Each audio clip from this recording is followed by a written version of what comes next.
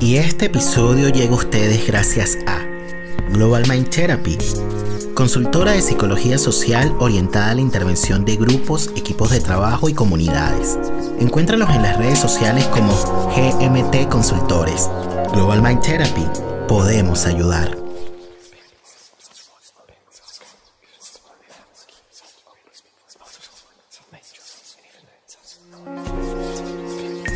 La palabra para traer recuerdos y volver donde fuimos felices. La palabra para nombrar el sufrimiento y no enfermarnos. La palabra para encontrar socorro en momentos de angustia. La palabra para compartir las emociones y saber que no estamos solos. La palabra para denunciar el abuso y transformar amargas realidades. La palabra para reconocer el error y hacernos cargo de lo que decimos la palabra para reconocernos como similares en las diferencias, la palabra para nombrar el amor y hacerlo efectivo en el vínculo.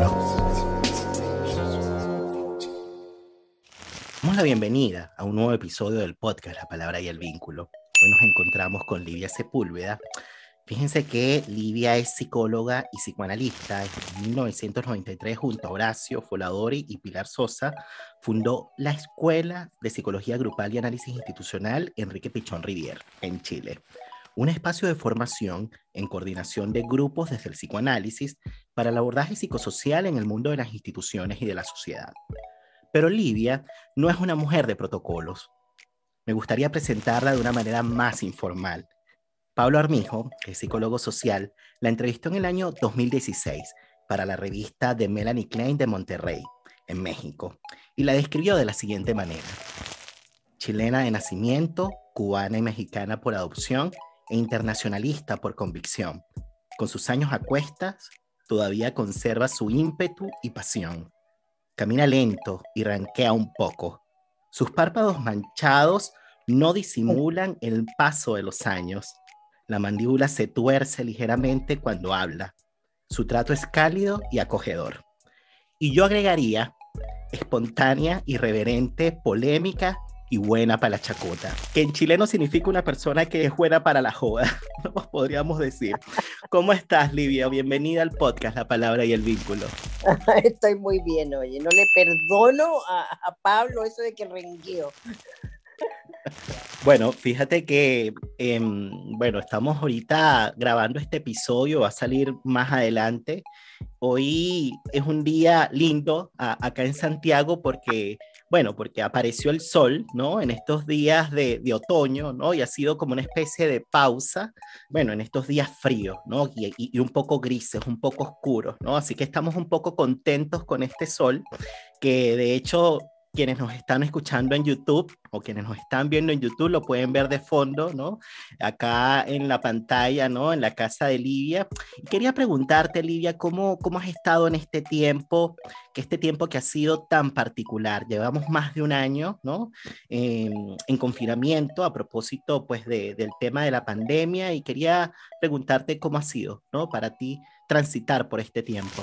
Bueno, en realidad... Eh me da un poquito de culpa a veces hablar de eso porque yo no he estado sufriendo ni, me he sentido mal, diríamos, por estar este tiempo más o menos confinada, porque también he estado permanentemente violando las normas y saliendo, aunque sea al parque, ¿no? Entonces, em, he estado bien, ocupando el tiempo. Eh, Fíjate que yo tengo una casa que, es mi refugio y que tiene todas las cosas que a mí me gustan. Entonces yo soy muy feliz acá. Eh, tengo luz, eh, eso, eso es muy importante, el, ámbito, ¿no? Tengo muchas ventanales grandes, tengo mucha luz, tengo muchos libros, tengo mucha música y tengo mis animalitos. Y ahora, eh, durante la pandemia, adopté a cuatro palomas, en, las terrazas se, se, han venido allí eh, eh, haciéndose las locas que les dé pancito. Entonces, bueno, ahí aparece todos los días a exigirme ahora las migas de pan. Entonces yo he estado bien, fíjate, he estado bien y además no he tenido eh, problemas con la familia, nadie se ha enfermado, mi hijo anda viajando en un viaje muy importante para él. Eh, anda por Europa y bien, en general bien, leyendo, escribiendo, dirigiendo los módulos también de la escuela Pichón Rivier eso no ha terminado. Bueno, la escuela de Pichón Rivier, bueno, ahí ya los decía en la presentación, eh, fue cofundada por Livia junto con Horacio Foladore y Pilar Sosa en el año 1993 y que bueno, imagínense, ya tienen, digamos, décadas pues formando a distintos grupalistas, ¿no? Eh, desde un modo particular, ¿no? De una manera distinta, ¿no? Eh, de abordar, digamos, las problemáticas sociales y digo de una manera distinta porque se sirve pues de otra metodología. Si pudiésemos hablar un poquito acerca de lo que hacen en la Escuela de Psicología Grupal Enrique Pechón Rivier, en qué consiste esta metodología y por qué es diferente quizás, digamos, de un enfoque de desarrollo organizacional, por ejemplo. Ah, no tiene nada que ver, pues realmente. O sea, bueno, mira, eh, el grupo operativo fue originado, fundado, ¿no? Por Pichón Rivier, y, la verdad es que su característica fundamental es que es un grupo que funciona en torno a una tarea. Una tarea es cualquier actividad que, por la cual el grupo se siente convocado, digamos, que lo desea, que quiere hacer, lo que quiere resolverlo. Y entonces el grupo consiste bajo una, un encuadre que implica una coordinación y, y, una persona que observa, implica ir analizando y devolviendo al grupo que piense sobre los distintos momentos eh, cuáles va pasando en la construcción de esta tarea y, que vaya pudiendo resolver los conflictos que aparecen cuando uno intenta hacer algo ¿no? grupal. Y en ese, en ese quehacer eh, se desarrolla mucho, la técnica tiene esa gracia, diríamos, que desarrolla mucho la capacidad para pensar, y pensar sobre lo que se siente, ¿no? que no es habitual. Pensar sobre lo que siente y además también sentir acerca de lo que uno piensa, que son aspectos que en la educación tradicional están fuera.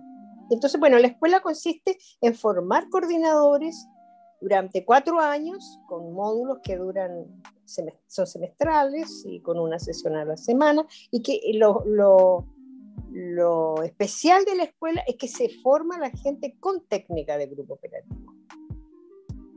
O sea, aprenden con sangre, sudor y lágrimas, diríamos, por decirlo de alguna manera, ¿no? Sí, porque aprenden, digamos, eh, pasando por la experiencia, ¿no? De estar en un grupo. Viviendo. Ahora, fíjense que em, Livia, bueno, como, como bien decía en la presentación, fue entrevistada por eh, Pablo Armijo, ¿no? En el año 2016 y en esta entrevista Livia decía que para ella el grupo o los grupos son un instrumento político. ¿no? no me pregunten qué vamos a hacer con la realidad política.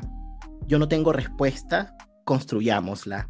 Y esto se lo decía, digamos, a unas personas que estaban en formación en esta escuela y decía, qué bueno que ahora se están dando la tarea de pensar, qué bueno que ahora tengamos con quienes pensar las salidas. Y esto era en relación, digamos, al acontecer político en aquel entonces, que es distinto al acontecer político actual, ¿no?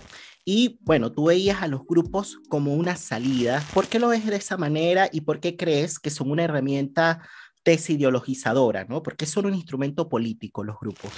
Eh, no creo que sean los grupos una salida política, ¿no? A, las situaciones políticas, digamos. Son un instrumento y una técnica a la vez, ¿no es cierto? Que evidentemente enseña a las personas a pensar. Y según sea la tarea, eh, esto implica pensar sobre la realidad que están viviendo. Es decir, esto implica tener, abrir la conciencia, ¿no? De la realidad que los rodea y de las posibilidades de modificar esa realidad, ¿sí? Entonces, desde ese punto de vista, produce cambios y puede conducir a cambios micropolíticos, diría yo, ¿no? No son políticos como en una, en una amplitud de, un, de, un, país, una ciudad, son microcambios, micropolíticos, ¿no? Que ayudan a que la gente pueda pensar su realidad y pensarse en esa realidad. Pensarse en esa realidad y también posicionarse frente a ella, ¿no? Exactamente. Hay como una cierta no cierta, es, existe, digamos, una concepción acerca de lo que es salud desde este punto de vista, digamos, que yo creo que no solo pichoneano, sino que es un, quizá una concepción marxista, ¿no? Que, eh, que es la idea de que ser sano es ser capaz de modificar tu realidad y ponerla al servicio de tus necesidades, ¿no? Esto puede ser individual o puede ser grupal, o puede ser social, digamos, ¿no? Grandes grupos, ¿no? Que intentan modificar una realidad y hacerla eh, accesible o, o, útil para sus necesidades, ¿no? Ahora, fíjate que no siempre es posible eso, bueno, quizás aludiendo a Enrique Pichón Rivier, ¿no? Que es el creador de los grupos operativos, em, bueno, como que una de las salidas o una de las cosas que se buscan ¿no? con, con, con, los, con, la experiencia ¿no? de estar en un grupo operativo es la adaptación activa a la realidad, dice él, ¿no? Y pienso que la adaptación activa a la realidad no solamente tiene que ver con poner, digamos, al servicio de tus necesidades algo de la realidad después de haberla modificado. También quizás puede tener que ver con lograr resistir un poco, ¿no? Yo no sé si pudiésemos pensar un poquito acerca de esto, Olivia, porque fíjate tal y cual como están las cosas hoy, pareciera muy difícil poder transformar o modificar algo de la realidad. Parece que la realidad está muy cruda hoy por todo, digamos, lo, lo que ha representado esta pandemia pero pensándolo ya a nivel más local, lo que está pasando en Chile, ¿no? Y el acontecer político actual en Chile está bastante eh, delicado, ¿no? Es un, terreno bastante complejo, ¿no? Entonces parece difícil poder modificar, pero parece que resistir también puede tener que ver con esto que Pichón Rivier decía de la adaptación activa a la realidad. No sé qué, qué podemos pensar acerca de eso, Lidia. Nelson,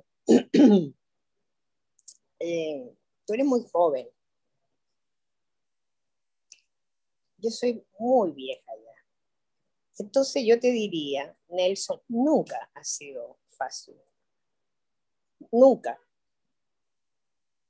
Piensa que por algo nos dieron el golpe de Estado, ¿no?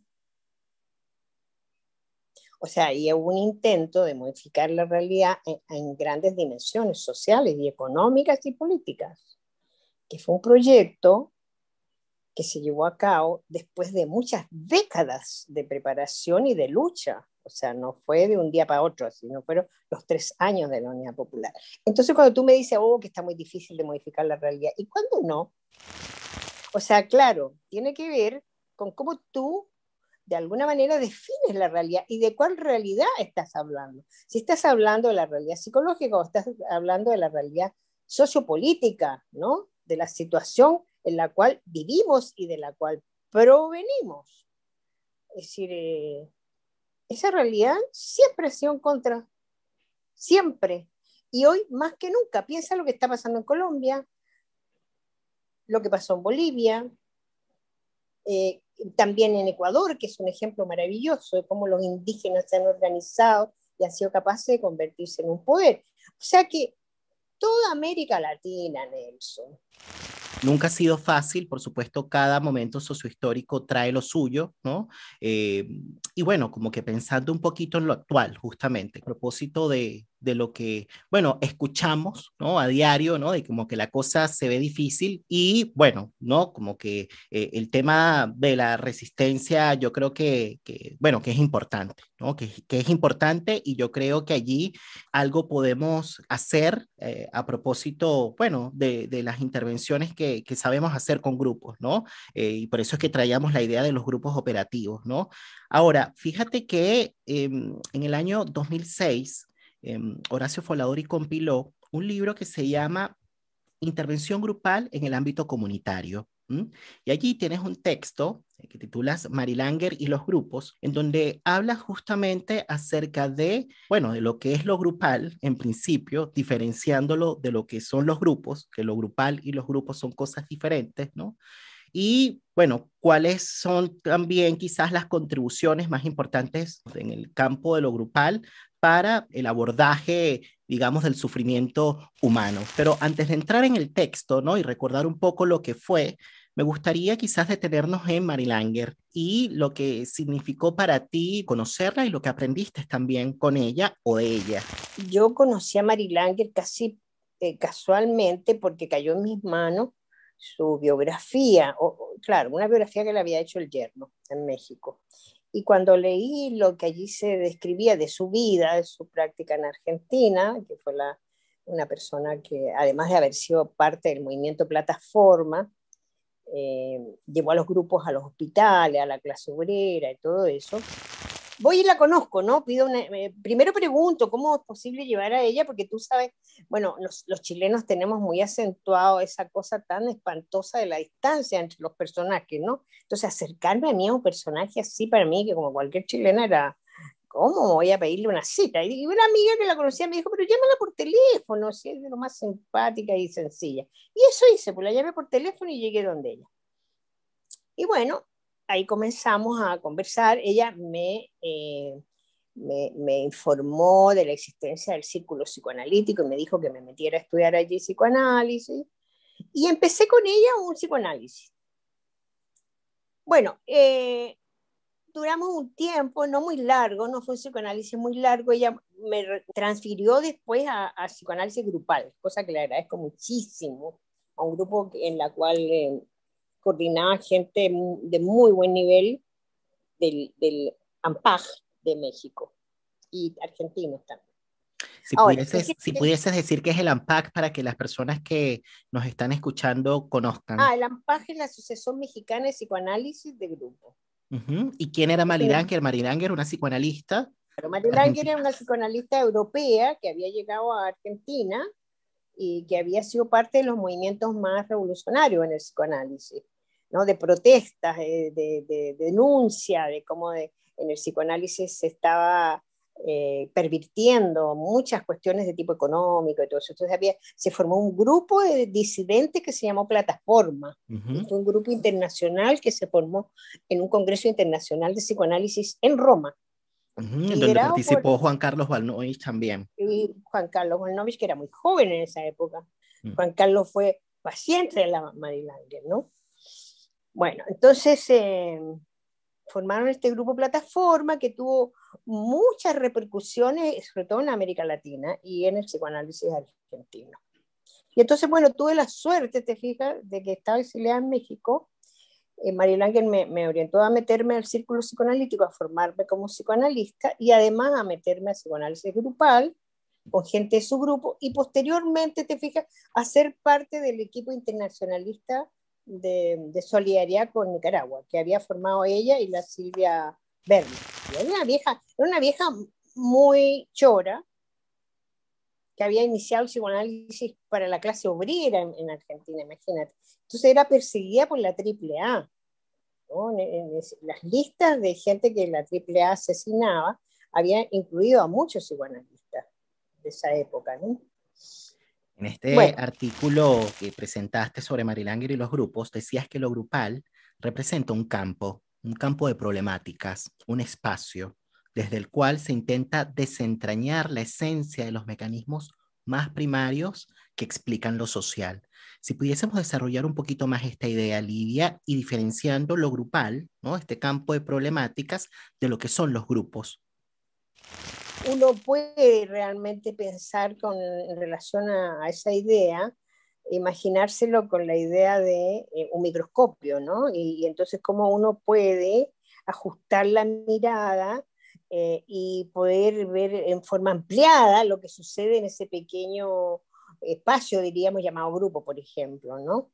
Entonces, bueno, eh, encontramos que allí, obviamente, vamos a encontrar la representación y la puesta en marcha de vínculos ¿no? que se crean entre la gente que pertenece al grupo y vínculos que tienen historias, ¿no? historias que son individuales y, sociales, ¿no? que provienen de las formaciones familiares, pero a su vez las familias son parte de, un socios, ¿no? de un mm. espacio societal. ¿no?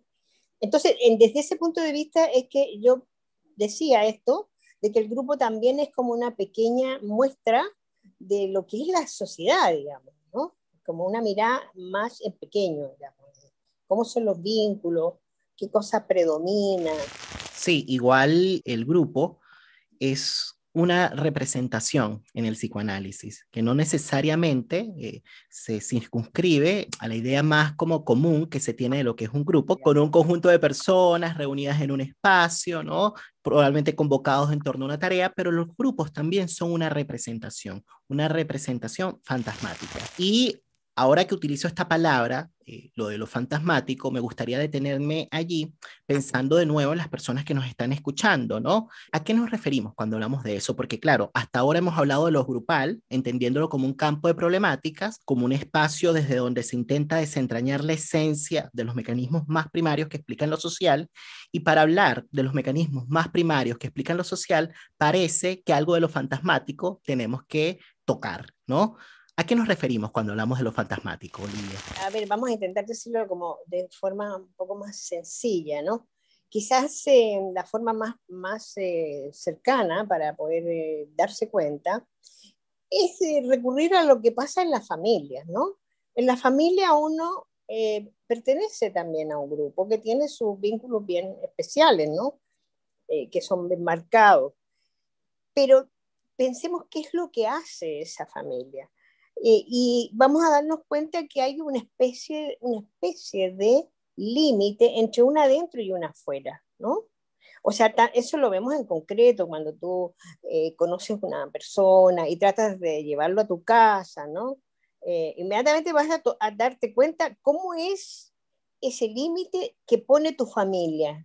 ¿Es fácil llevarlo a la casa? ¿No es fácil? ¿Es rechazado? Hay una actitud de, así como de unión entre todos. ¿Hasta dónde se le permite entrar en la intimidad o no? ¿Hasta dónde se le permite, entrar? O sea, son simpáticos, son cálidos o no, diríamos, ¿no? Y esto tiene que ver con un cierto límite imaginario. Pero eso es fantasmagórico, a eso me refería cuando hablamos de lo fantasmagórico, ¿no? Porque no existe la realidad, digamos, no, no tiene una esencia materialmente material. Es producto de lo imaginario en ese sentido. Ahora, no quiere decir que eso es menos real, ¿sí?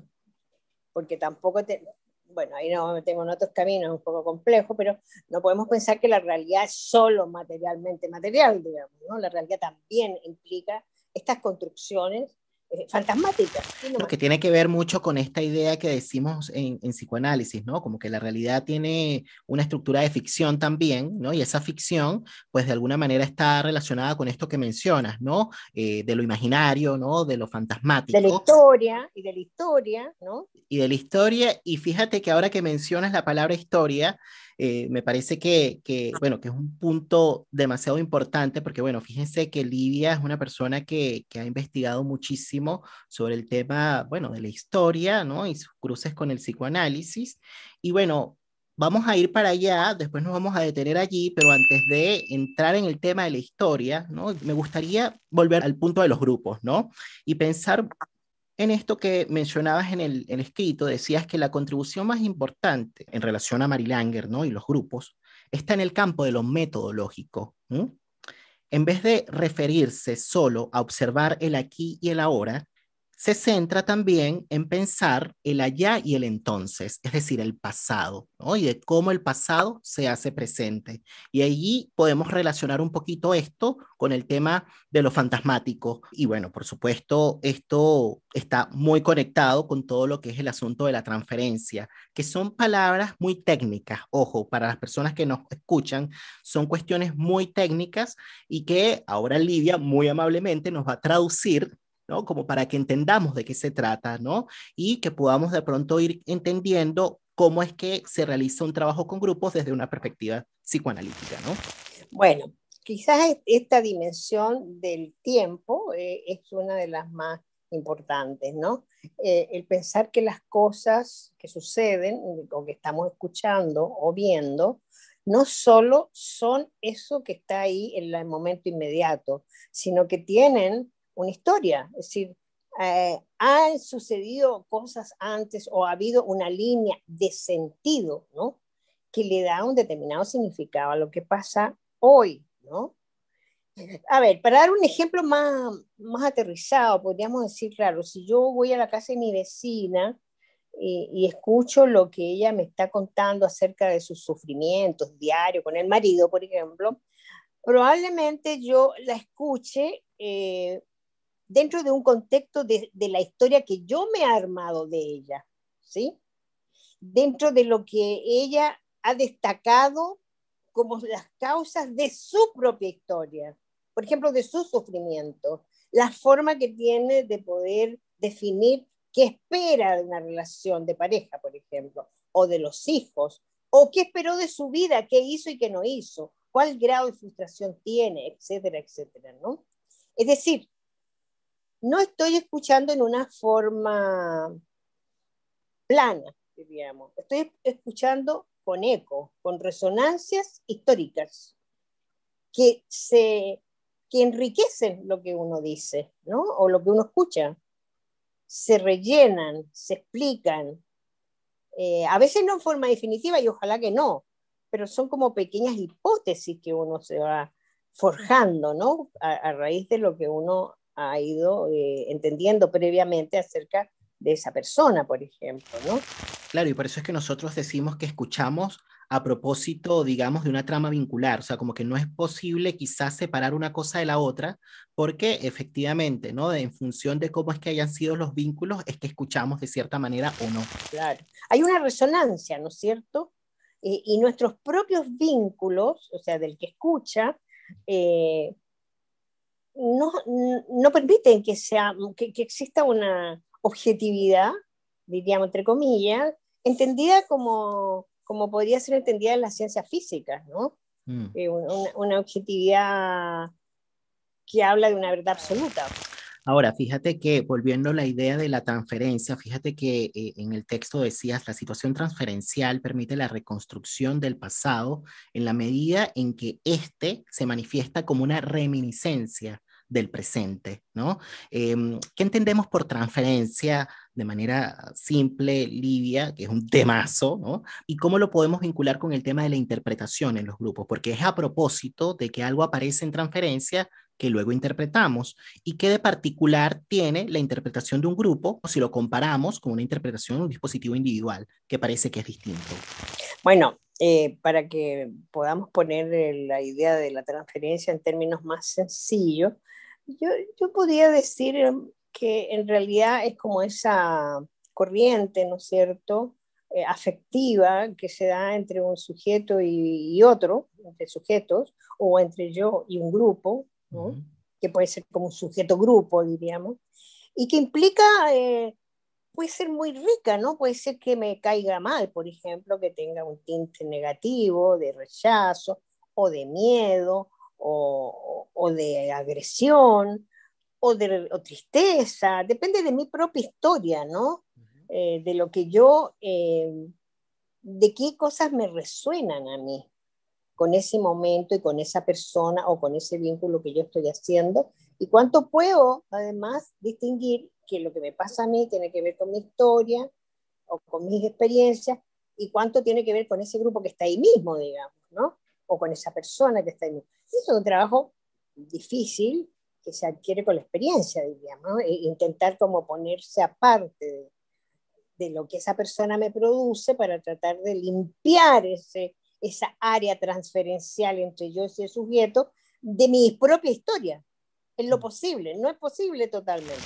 Y pensando un poco en lo que ha significado para algunos grupos, para algunas familias, para algunos equipos de trabajo, ¿no? incluso para algunas organizaciones también, eh, este tiempo, ¿no? Quizás yendo a la familia, el tema de la cuarentena ha llevado, digamos, a una convivencia forzada, ¿no? Para algunas familias ha sido fácil lidiar con eso, para otras no necesariamente, porque como que el otro hiperpresente produce cosas, ¿no? Produce ciertas resonancias, como dices tú. Bueno, y obviamente sin meter toda esta variable, lo que significa estar en confinamiento, digamos, en, en, un espacio que es reducido, eh, si es que estás hacinado o no estás hacinado, si es que estás en un lugar o estás en otro, porque por supuesto todo eso trae una diferencia, ¿no? No es lo mismo estar en un hogar en donde te entra el sol, ¿no? Por la ventana, que estar en un hogar en donde no hay ventanas, en donde no hay luz, en fin, todas esas cuestiones me parece que son muy importantes y esto de todas maneras condiciona, digamos, la manera de estar eh, eh, con el otro, ¿no? Ahora, pensando específicamente, digamos, en el tema vincular y en lo que ha significado, digamos, esta convivencia forzada, ha promovido, bueno, desencuentros, eh, agresiones, peleas, discusiones, ¿no? Y quizás pensándolo ya de manera amplia, ya saliéndonos de la parte como técnica, ¿no? Y no necesariamente pensando, digamos, en una intervención grupal, ¿no? En fin, sino pensando de manera amplia, ¿no? ¿Qué le podríamos decir a esas familias que de pronto hayan tenido desencuentros y que probablemente necesiten o deseen quizás reencontrarse como para hacer frente a la vida, a propósito de lo que hablábamos antes de la adaptación activa a la realidad, ¿no? ¿Qué podríamos decir, ¿no? Como para poder manejar la emocionalidad, ¿no? De las familias, de los grupos o de las organizaciones en este tiempo, ¿no? Bueno, yo no, no creo que haya nada fijo que decir, ¿no? Para nada, para nada, depende de la familia. Yo creo que lo primero es escuchar. Eso, eso es fundamental. Y allí verá, veremos ¿no? qué podemos que podemos introducir. Pero, pero primero es escuchar. Lo fundamental es escuchar y escucharlos a todos. Y a lo mejor intentar que se escuchen. Esto de la escucha es demasiado importante. Fíjate que en la primera temporada tuve la suerte de estar con Janine Puyet acá en el podcast y le hacía esta pregunta, ¿no? ¿Qué es la escucha y de qué depende la escucha? Y te voy a hacer la misma pregunta a ti. ¿Qué es la escucha, Livia, desde tu punto de vista y de qué depende que se dé la escucha? Me parece que la escucha es poder eh, recibir, ¿no? Eh, estar como, como sensible y, y abierto a poder encontrar los sentidos de la otra persona, los sentidos que en su historia, en sus circunstancias, en lo que en ese momento le está pasando. O sea, cómo, cómo poder mirar así como en forma, como si fuésemos un, foco, ¿no? De que, que, implica el presente y el pasado y la historia, ¿no? O sea, con resonancia. Escuchar con resonancia. Para mí eso es escuchar. Es escuchar, fundamentalmente escuchar y no apurar por una opinión, o algo, no, escuchar. Hablar para que facilitar que la gente pueda decir mejor, pueda encontrar eh, una mejor frase o mejor recuerdo, va a poder explicar lo que, lo que está trayendo. Y eh, evidentemente que eso requiere una cierta libertad del, del escuchando, diríamos, ¿no? En el sentido de que uno tiene que estar también libre libre de su propio, ¿no cierto?, enfoque, o no tanto enfoque, sino me refería como al, al eco afectivo de uno, o sea, cuánto uno puede hacer eso. No se puede, de verdad, absolutamente, en absoluto no se puede, pero, pero es necesario, es una herramienta. ¿Qué me pasa a mí con eso? A propósito de esto que dices, ¿no? Y a propósito de la resonancia, que es una palabra que has ido ocupando, eh, bueno, me, me, hiciste eh, recordar lo que estábamos hablando antes, ¿no? Acerca de lo fantasmático, de las representaciones, ¿no? Hay veces que quizás algunas representaciones fijas que nos hacemos del otro impiden que podamos escuchar, ¿no? Porque estaba pensando que quizás el tema de la resonancia eh, no es una cuestión que se da por sentado. Algo tiene que pasar en el entre, ¿no? a nivel intersubjetivo para que la resonancia pueda ocurrir, pero también algo tiene que pasar a nivel intrapsíquico, ¿no? Sin duda es un tema vincular y a la vez individual, podríamos decir. Entonces, claro, si yo me mantengo de alguna manera eh, fijado a una representación, es decir, a una manera de ver al otro, ¿no? Y quizás esa representación de pronto impide que, bueno, que se abra un diálogo, una comunicación, efectivamente va a ser mucho más difícil que, eh, bueno, que se pueda quizás transitar hacia otro lugar, pensando de nuevo en lo que te decía antes, ¿no? De lo que te planteaba. Hacia otra persona hacia otras resonancias que quizás lleven al vínculo a otro momento. Que si es que había un desencuentro, que pasemos a un reencuentro o a que, a que podamos estar, digamos, de otra manera, ¿no? Eh, el tema de la escucha es clave y te decía de qué depende una escucha. Yo pensaba en esta idea de las representaciones fijas, quizás de suspender de momento aquello, ¿no? Como para poder abrirse y ser tocado un poco por la palabra del otro, a ver si es que produce otra resonancia, ¿no? Yo no sé si se te ocurren otras ideas en relación a este tema de eh, de qué depende una escucha, ¿no? Si es que existen otras cuestiones que pronto podamos considerar, ¿no? Para eso. Evidentemente que si tú no estás eh, en tu vida interna, diríamos, libre para escuchar, esto, esto no quiere decir sin conflictos. Esto no quiere decir sin, sin ideas, sin opiniones, no. Quiere decir que puedes suspender eso. Y que puedes ser oreja. A pesar de eso.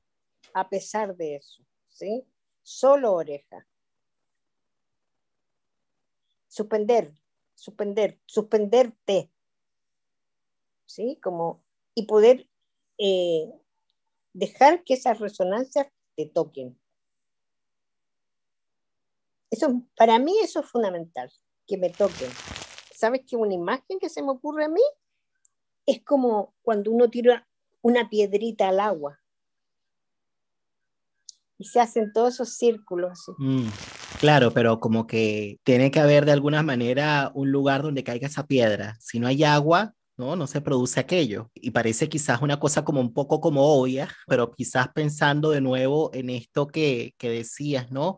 De pensar un poco la articulación entre lo individual, lo grupal y lo social y lo político también, ¿no? Porque ha hablado la palabra libertad y me parece que, bueno, la libertad no solamente tiene que ver con lo que está pasándome a mí, ¿no? A nivel personal o a nivel individual, también tiene mucho que ver con, con el tema del contexto, ¿no? Y por eso es que de pronto en los grupos operativos, a propósito de Blecher, ¿no? Que es otro grupalista importante, eh, decimos que es muy importante pensar al individuo en situación, no pensarlo de manera aislada porque si no, lo que terminamos es cayendo en un reduccionismo. Y hay veces que no escuchamos porque hay algo del contexto que es muy fuerte, que impide la escucha y que quizás en condiciones habituales probablemente eh, no hubiese habido quizás un desencuentro en una familia, pero a lo mejor algo del contexto agita tan fuertemente que la familia está, digamos, con los sentimientos o con las emociones, mejor dicho, a flor de piel, porque los sentimientos tienen que ver con cierta elaboración. Y fíjate que esto que hablábamos ahora, eh, bueno, del tema de la resonancia, ¿no? Me parece que tiene mucho que ver con dejarse afectar, me parece, con dejarse tocar. Es, ¿no? es eso, no puedes resonar si no te afecta. Sí, o sea, afectación, conmoción, conmoverse y, y claro, esto lo hablábamos con Eleonora Causaula, el episodio se tituló No hay escucha sin transformación. Ella decía que, bueno, como para que se pueda escuchar, tiene que haber cierta agitación de los posicionamientos narcisísticos, ¿no? Como que de alguna manera tenemos que salirnos del sí mismo para entrar, digamos, en el campo vincular. Y bueno, esto es bastante difícil justamente cuando las pasiones están fuera de cauce, porque cada quien, digamos, está en lo suyo. Pero bueno, eh, yo creo que quizás volviendo a la idea de cómo hacer para resistir este tiempo, para adaptarnos, yo creo que, bueno, la escucha, digamos, tiene un lugar demasiado importante, ¿no? Si no hay escucha, yo creo que lo que nos queda, digamos, es cada quien viendo cómo resuelve con su vida, porque lo que me, la imagen que me viene es de puras personas atomizadas viendo cómo resuelven, ¿no? Y, y, eso, esa imagen me parece que es muy triste, es muy lamentable. Para cerrar este punto, ¿no? Acerca de Marilanger y los grupos, quería traer algo que tú por ahí mencionabas y que me parece que puede quizás ampliar un poquito más este punto acerca de qué hacer, digamos, con los desencuentros, ¿no? Y eh, tú decías que, bueno, es una cosa bastante técnica, pero seguramente eh, con, con, la habilidad que tú tienes como, como maestra, lo vamos a traducir de nuevo. Y fíjate que tú decías que la proyección de objetos buenos en los otros, al mismo tiempo que el deseo de reparar en ellos lo que sienten haber dañado, va permitiendo una integración grupal, ¿no? Y este es otro punto, además de la escucha, que me parece importantísimo, ¿no? la proyección de objetos buenos, por un lado, y el tema de la reparación, por otro. Es lo que permite un poco la integración. Y bueno, la integración tiene mucho que ver justamente con lograr darle un espacio a la experiencia emocional de los miembros que conformen ese grupo, sea cual sea el grupo. ¿Qué entendemos por proyección de objetos buenos, Livia? ¿Y a qué te refieres cuando hablas de reparación? Bueno, eh, si lo queremos entender así bien, bien simplemente, eh, es quizá es devolverle al otro partes de ese sí mismo, de él, diríamos, ¿no? Que son buenas, por decirlo con esta palabra tan amplia, ¿no? Que son buenas y que a lo mejor el sujeto no tiene conciencia de eso o, o, no les da el valor suficiente eh, no, no se ha apercibido de que tiene aquellas partes buenas, ¿no? Entonces es como devolverle aquello que produce con su presencia o su discurso o con su forma de vincularse y que es bueno, que produce o crecimiento o bienestar o afecto o cariño y, que, y de lo cual él no es consciente. Pero sabes que Lidia es interesante porque me parece que, que tiene que darse un doble movimiento allí, ¿no? Como por un lado, el sujeto que esté, digamos, dispuesto a, a reconocer los aspectos buenos del otro, por llamarlo de alguna manera, ¿no? Eh, tiene que haber vencido algo del orgullo, ¿no? Como para poder dar ese paso, ¿no? Pensando un poco en que si es que tiene deseo de reparar, es porque algo, digamos, de su narcisismo quedó tocado, ¿no? Y dice, bueno, a, tengo que hacer algo porque para mí esta otra persona es importante, ¿no? Y se da allí un movimiento.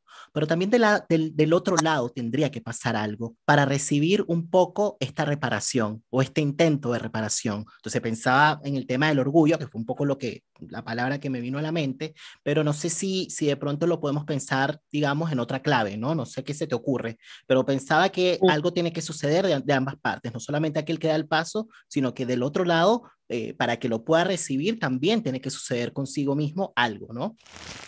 Fíjate que es curioso porque yo, yo puedo imaginarme más esa posibilidad en grupo. En grupo, porque es más, es más factible que haya distintos movimientos y momentos en los cuales, te fijas, el sujeto va como haciendo, por decir una palabra bien soez, digamos, como una sumatoria transferencial de mucha gente del grupo. ¿Sí? Estoy pensando incluso en ejemplos, en algunas experiencias concretas de, con alguna persona en especial en algún grupo. Sí, que, que el grupo en un momento de la historia del grupo le devuelve una imagen muy querible de sí mismo que para él era absolutamente eh, inesperado, increíble. Mm. Pero eso, tal como tú dices, no fue posible hasta que él mismo fue sufriendo un proceso en el grupo, un proceso grupal de muchas sesiones en las cuales pudo estar como blandito para poder recibir eso y pensarlo e in, in, ingresarlo en sí mismo y que le produjera un cambio. Claro, lo que yo te planteaba es una, es una situación de, digamos, de, de tensión entre un, uno y un otro, ¿no? Entre dos personas, claro. pero acá los pares, eh, me viene ahorita una referencia de René Caes, ¿no? Acá los pares, digamos, Ajá. tienen una participación demasiado importante porque justamente Muy los importante. otros pueden, de alguna manera, eh, servir como para señalar algo que quizás eh, el interventor no lo hace, pero que quizás si lo hacen los, los pares, ¿no? Eh, claro. la, el, los sujetos en cuestión sí lo reciben, ¿no? Porque es distinto cuando los pares dicen algo que cuando lo dice el interventor. ¿no? Es muy Entonces, lindo eso. ¿Sabes que esa experiencia es muy linda? Porque es como una especie de caleidoscopio que se arma en el grupo y que en un momento eh, se define en una imagen, ¿no? Pero eh, en la cual uno está casi como espectador. Exacto. Bueno, cuando llega ese momento es porque claro. efectivamente el grupo ha sido operativo, efectivamente. Ah. El grupo ha logrado hacer su tarea, que, que bueno, que de nuevo volvemos a lo técnico, ¿no? Que va más allá de lo que los convoca, que tiene que ver justamente con resolver cuestiones latentes que permiten darle un espacio o darle un lugar a aquello que los convoca, ¿no? O sea, claro. sea cual sea la tarea, se necesitan resolver ciertas cuestiones y esas cuestiones a veces son justamente fantasmáticas, ¿no? Vinculares, ¿no? Y que tienen que ver con todo esto que hemos ido diciendo a modo de ejemplo, porque sirve justamente como para ilustrar lo que estábamos hablando antes, ¿no? Así que fíjate que al final de este texto tú decías que, que, bueno, que el tema del insight es el objetivo, ¿no? Que se busca, eh, bueno, y esto por supuesto en relación a Mary Langer, ¿no? Que decía, el insight grupal es lo que se busca, o la restitución subjetiva, ¿no? Que se logra por la integración de los depósitos. Y, fíjate que en el año 2014 eh, asistí a un seminario eh, en la Sociedad Chilena de Psicoanálisis, que fue dictado por Leonardo Montecchi, y, que se llamaba, eh, bueno, para quienes nos siguen, Leonardo Montecchi, un psicoanalista, grupalista italiano, ¿no? director de la Escuela Blecher allá en Italia, y eh, bueno, él estuvo de visita en el año 2014 a propósito del Congreso Internacional de los Grupos Operativos, en donde participó Livia, ¿no? También como organizadora. Y bueno, que él en este seminario decía que justamente uno de los propósitos ¿no? del grupo operativo es que cada quien de alguna manera pueda hacerse cargo de los depósitos y que pueda de alguna manera reintroyectar aquello que depositó en el otro, ¿no? Y por eso es que me fui para allá, porque bueno, es un poco lo que mencionabas a propósito de Mary Langer, ¿no? El insight es el objetivo o la restitución subjetiva que se logra por la integración de los depósitos. Y hay veces que se producen caos, desórdenes, desastres, peleas, rencillas o lo que sea, a propósito de que en ocasiones los miembros de un grupo no se hacen cargo de lo que han expulsado. Entonces hay que hacer un ejercicio de reintroyección y para poder pasar por eso, bueno, hay que hacer un momento, bueno, pasar por un momento de reconocimiento, hacer algo con la ansiedad que te produce eso, reconocer lo que, lo que depositaste, es decir, que la embarraste probablemente, eh, hacer algo con la culpa, eh, reconocer un poco lo que produce, digamos, tu agresión en el otro, en fin, es todo un ejercicio que, que, bueno, que para poder llegar a eso se necesitan sesiones, si es que estamos en intervención con grupos, se necesita tiempo, bueno, porque las cosas con los seres humanos son bastante complejas, ¿no? Ahora para pasar a otro punto, Lidia, y ya acercándonos un poco hacia el cierre de esta conversación, fíjate que en el año 2012, para la revista Gradida de la Sociedad Chilena de Psicoanálisis, que acá la pueden observar, quienes nos están viendo, bueno, el otro libro, no sé si alcancé a, mostrarlo, Intervención Grupal en el Ámbito Comunitario. Este es un libro bajo el sello Editorial Espiral, con el sello de la Escuela de Psicología Grupal y Análisis Institucional, Enrique Pichón Rivier. Me parece que todavía lo pueden encontrar si es que les interesa. Me parece que está disponible en la Universidad de Chile. Eh, pero bueno. En el ISPA. Y en el, ISPA también. Bueno, acá lo tienen por si les interesa. Es un libro digamos, colectivo, hay distintos escritos de distintos autores, y bueno, iba para esta publicación porque en esta publicación, que por cierto la pueden encontrar en formato digital en la página web de la Sociedad Chilena de Psicoanálisis, en esta publicación participó Livia, ¿no? Con un artículo que se titula Tiempo de historia, tiempo de historicidad. No sé si mencioné el año, es del 2012. Para recordar un poquito lo que fuese escrito, voy a compartir con ustedes una cita de René Caes, ¿no? Que colocó Livia en el encabezado y que me parece muy interesante, ¿no? Para allí conversarlo. Dice, no hay grupo, ni institución, ni sociedad sin memoria, sin trabajo de historización. Las sociedades que sostienen las utopías mortíferas rechazan la memoria y la historicidad. El no recuerdes no está aquí ordenado por la represión del error, del horror, sino por la anulación de la historia y de la experiencia. ¿Qué te pasa mientras escuchas o mientras recuerdas este escrito? Bueno, mira, primero, eh, lo primero que me, pasa, ¿no es cierto?, es que me vuelvo a impactar por la maestría de Caes. Es un autor que yo quisiera poder estudiar a fondo, con tranquilidad, te fijas, me parece un, un, autor extraordinario.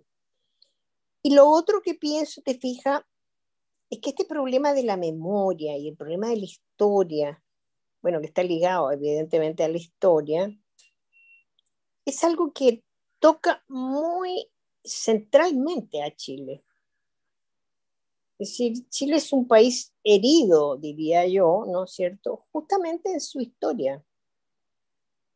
En una historia que aún no es reconocida.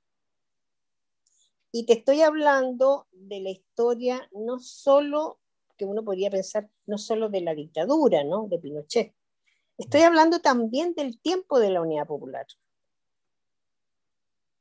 Hay tantos mitos, hay tantos decires y tantos temas que no se tocan con fundamentos, con documentos, por ejemplo, acerca de lo que pasó durante el tiempo de, de Salvador Allende. ¿Qué se hizo? ¿Qué no se hizo? ¿Cómo fue esa etapa? ¿Por qué nos dieron el golpe de Estado? O sea, esta, esta historia está renegada. Y está renegada incluso por, parte de partidos, ¿no es cierto?, que fueron eh, instrumentos bastante esenciales, principales, ¿no? No está totalmente negada, pero no está totalmente presentada como fue. ¿sí? Es como si de repente dijeran, bueno, oh, pobrecitos, como somos nosotros, nos dieron un golpe de Estado terrible, torturaron a la gente, mataron tanto, que bla, bla, bla, bla, ¿no? Y están, están a veces en esta típica lucha muy legítima sobre la defensa de los derechos humanos, pero si ponemos el acento solo en eso, no se entiende nada de la historia. Eh, ¿Qué pasó en la Unidad Popular? ¿Qué fue lo que hicimos? ¿Cuánto tocamos los intereses más importantes del país? ¿Por qué el imperialismo norteamericano puso su dedo sobre nosotros y decidió matarnos? La gente sabe, no sabe eso. No sabe qué pasó en la Unidad Popular. ¿Qué se hizo? Hay mucha leyenda, mucho desprestigio además, ¿no? Pero fíjate, si tú lo, bueno, tú no eres un, un ser político, digamos, de, militancia política. Yo sí lo soy. Yo te podría decir, no ha habido un análisis serio, eh, público, de los principales partidos que constituyeron la Unidad Popular, Partido Comunista y Partido Socialista, a fondo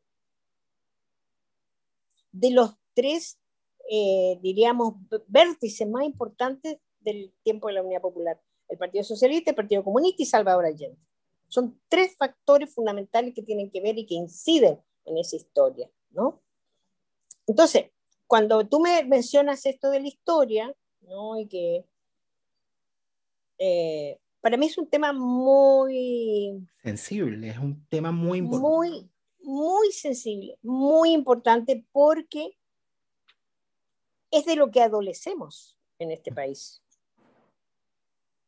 Este es un país sin una historia real. Es una historia ficticia. Fíjate, Lidia, que en este artículo tú mencionabas la diferencia entre historia e historicidad, ¿no? En alusión al título, ¿no? Del ensayo. Y en esta definición, pues, de la historia, tú decías que eh, para el historiador, la historia sería ese acontecer en el tiempo y el espacio acerca de sucesos humanos sobre lo que se construye luego un relato que puede ser oficial o no. Y esto tiene mucha relación con lo que estás diciendo. Lo oficial puede ser justamente portador de una memoria que es perversa, ¿no? Quería quizás ahora a propósito de la distinción entre historia e historicidad, ir a la, a la otra definición. Tú decías, otro asunto es el tema de la historicidad que sería en esencia lo verdaderamente histórico para el historiador. La historicidad sería o respondería al sentido del proceso en su conjunto, descubierto en una interpretación a posteriori, a prescup, decimos en psicoanálisis, que es difícil de captar por el individuo en particular, es su presente puntual, ¿no? Y yo creo que aquí algo pues podemos conectar con lo que estábamos hablando acerca de lo grupal, ¿no? Como que para poder historizar, porque la historización, tal y como lo entiendo en función de lo que presentas en este artículo, la historización tiene que ver justamente con un ejercicio de pensar, tiene que ver justamente con, de alguna manera, sí, ir a la historia, ir a la memoria, pero con otros. Parece que no es un ejercicio solo individual, se necesita al menos un testigo, se necesita al menos un sujeto otro que te ayude a pensar, ¿no? Y a, elaborar. Y en esa elaboración justamente se produce esto que tú mencionabas, ¿no? Como un proceso de justamente de significación de lo vivido, ¿no? Como que aparece algo, aparece un sentido. Bueno, quería como, como escucharte, Livia, acerca de algo que, que para ti es parece que, bueno, muy importante, que está relacionada con el hecho de, pensando en la clínica, en los que nos dedicamos a esto, ¿no?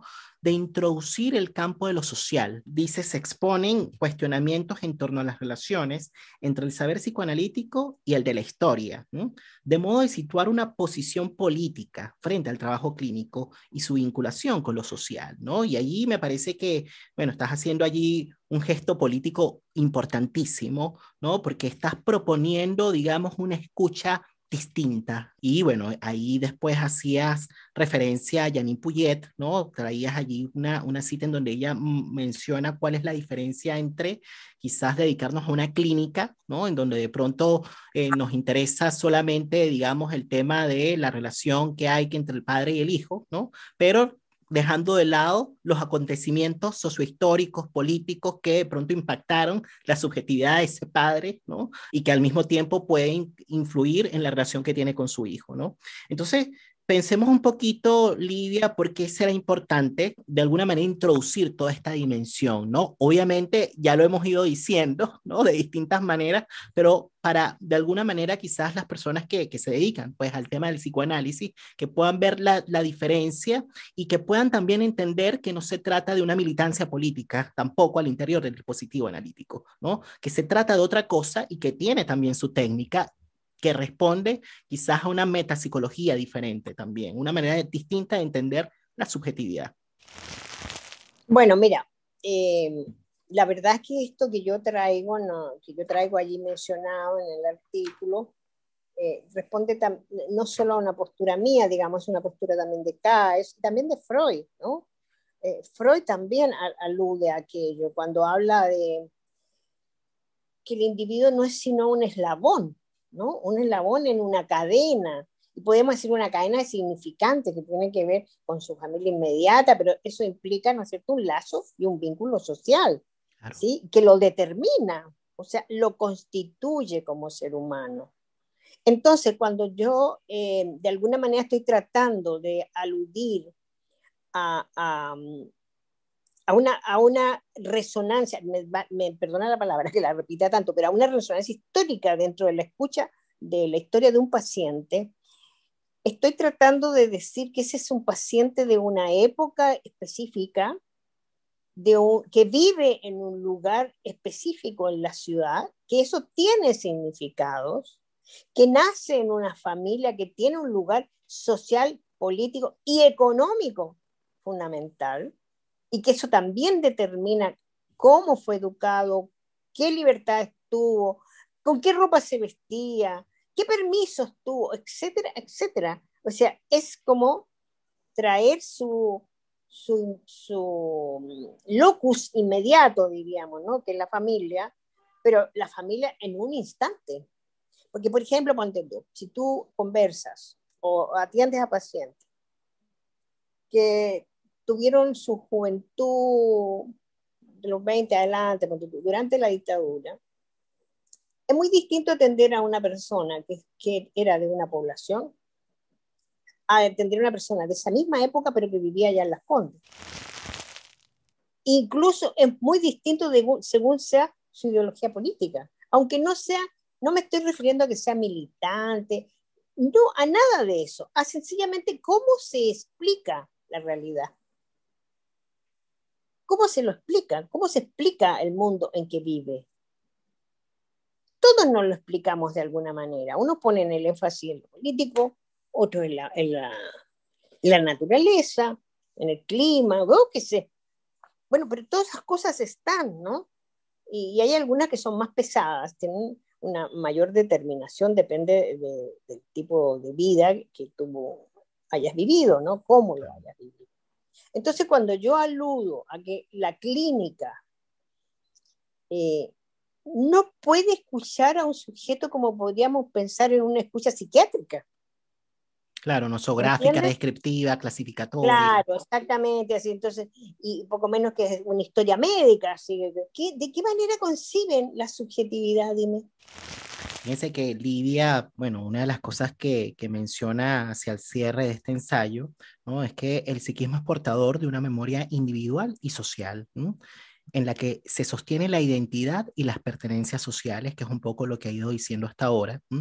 El pasado puede estar presente en el tiempo psíquico individual, pero en el ámbito social puede ser borrado, omitido, anulado, desaparecido. Entre el tiempo psíquico y el tiempo histórico pueden haber conexiones o desconexiones, compatibilidades o incompatibilidades. Y me parece que probablemente podríamos decir que el, estallido social fue justamente fruto ¿no? de ponerle un límite a la política denegatoria, eh, a la indiferencia frente a la desigualdad y a los traumatismos políticos y sociales. ¿no? Y fíjate que hace poco estuve en un encuentro federal y latinoamericano de vínculos y psicoanálisis y que fue organizado por la Asociación Argentina de Psicoterapia Psicoanalítica de Grupo. Y participó allí en una mesa Marcelo Viñar junto con Ana María Fernández. Y bueno, una mesa que titularon Voces de las Violencias en la América Latina. Fíjate que Marcelo decía lo siguiente en esta mesa, ¿no? El sobrecalentamiento del presente es parte de las violencias del mundo de hoy. El rescate de la memoria es decisiva y fundamental para la historización, por un lado, y también por la construcción de futuro por otro. Luego cerró diciendo que la recuperación de la continuidad generacional en un tiempo de ruptura es la clave. Y esto se relaciona mucho, no solo con lo que escribiste, ¿no? de lo que hemos ido hablando acerca de este artículo ¿no? del 2012, sino también se relaciona con algo que mencionó Rosa Haitín en el Congreso Internacional de Pareja y Familia, ¿no? de Psicoanálisis de Pareja y Familia en el año 2020. Y bueno, Rosa Haitín decía que en una sociedad en la que el pasado ha perdido su poder, y esto por supuesto se relaciona con lo que está diciendo Marcelo, ¿no? Eh, sobre el sobrecalentamiento del presente, ¿no? A propósito del contexto actual, y en donde el futuro es impredecible, los modelos identitarios refieren a un presente situacional y contextual. Lo valorado no es la tradición, sino la flexibilidad y la adaptación al cambio. O sea, como que hay que resolver, hay que resolver y en ese sentido de pronto nos olvidamos de algo del pasado, ¿no? La fractura generacional tiene repercusiones importantes sobre la afiliación y el proceso de transmisión. ¿Por qué traigo estos autores? Traigo estos autores porque me parece que hay una, digamos, hay una cierta convergencia, ¿no? En relación a lo que están pensando, ¿no? Y a lo que tú vienes escribiendo, ¿no? Y lo que hemos ido hablando hoy. Y bueno, justamente como para traer la importancia de, bueno, de la historia, ¿no? Fíjate que hace tiempo, bueno, puse un post eh, en Facebook que yo decía, el pasado ha perdido su poder, ¿no?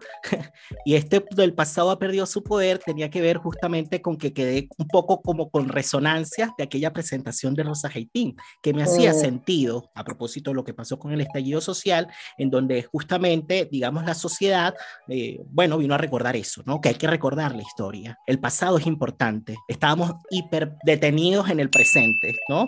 Por eso es que había puesto ese post y que tú decías, bueno, ¿será que perdió sentido para ti? Yo, bueno, lo voy a, lo voy a conversar, lo voy a conversar con Livia en el podcast para que se entienda desde dónde es que lo había mencionado. Y para mí, Livia, el tema de la continuidad es muy importante.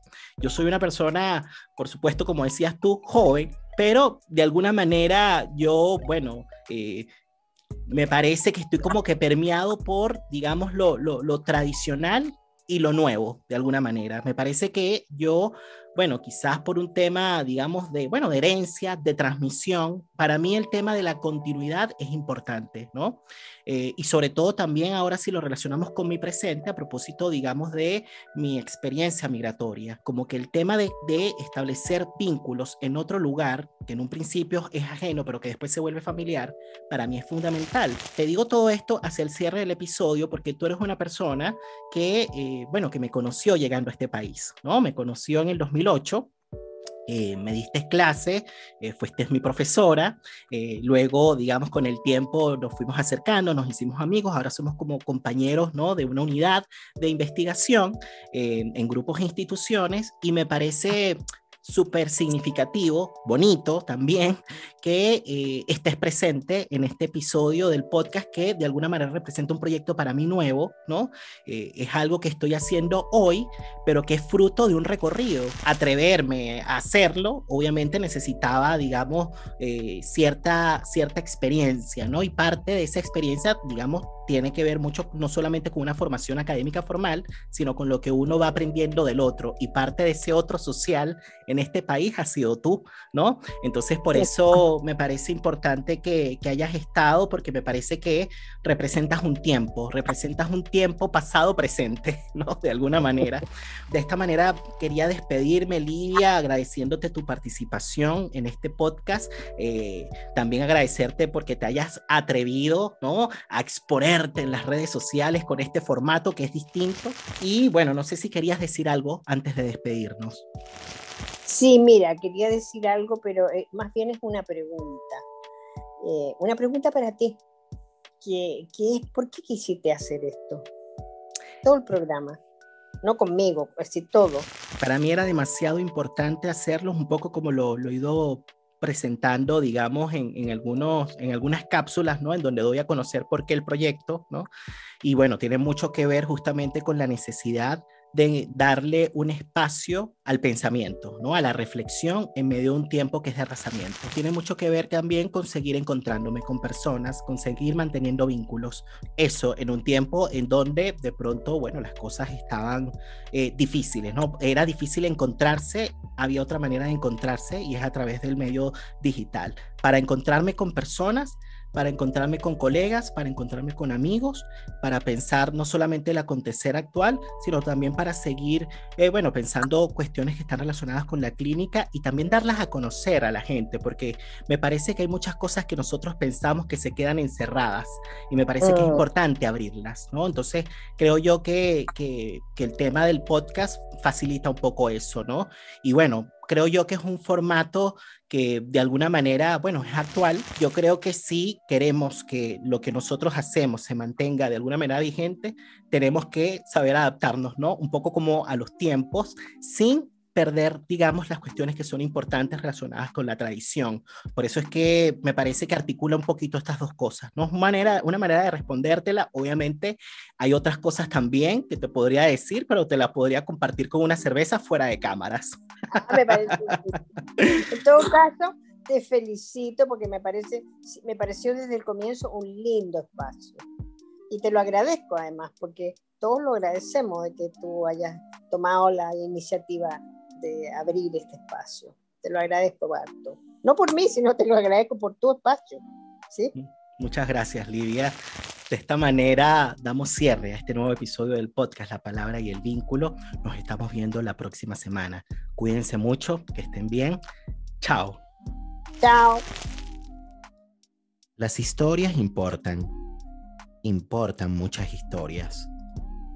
Las historias se han utilizado para desposeer y calumniar, pero también pueden usarse para facultar y humanizar. Pueden quebrar la dignidad de un pueblo, pero también pueden restaurarla.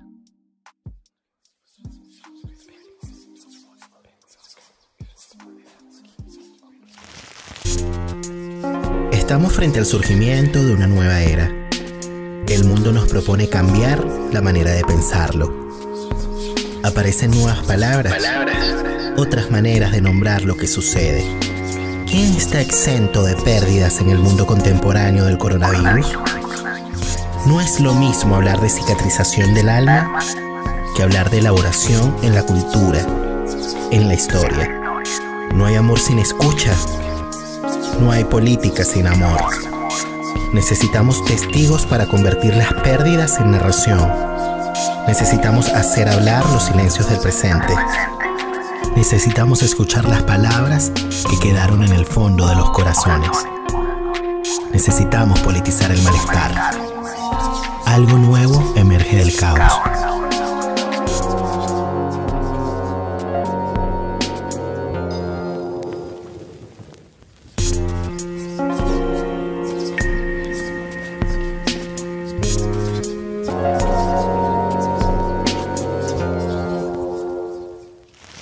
El próximo martes 17 de agosto inicia la segunda versión del taller de lectura y discusión Rupturas, basado en la primera temporada del podcast La Palabra y el Vínculo.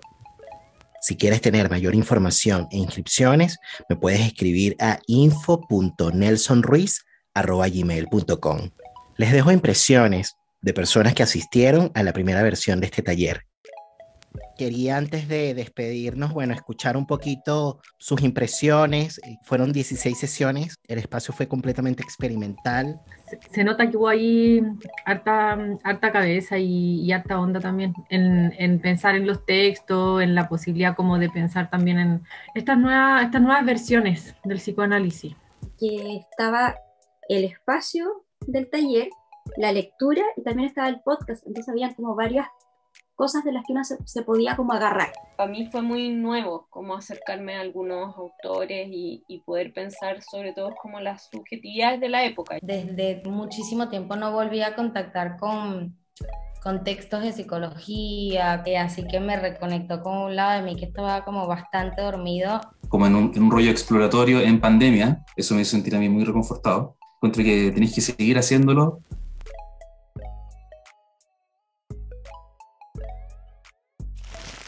Ok, quise darme unos minutos más para agradecerles a ustedes la compañía. Gracias por estar allí del otro lado de la pantalla. Recuerden que si les gustó este episodio, dale like, porque esas cosas como que ayudan en este mundo del YouTube. Y si existen personas que les interesa este contenido, pues por supuesto, compártanlo con ellos. Recuerden que este programa es patrocinado por Global Mind Therapy, Podemos Ayudar, que es una consultora de psicología social dedicada al abordaje de los grupos, equipos de trabajo y comunidades. Visiten la página en Facebook o el Instagram, la cuenta en Instagram bajo el arroba GMT Consultores, ¿no? Una consultora de psicología social, trabaja desde el psicoanálisis y desde el psicodrama y de la cual también participo.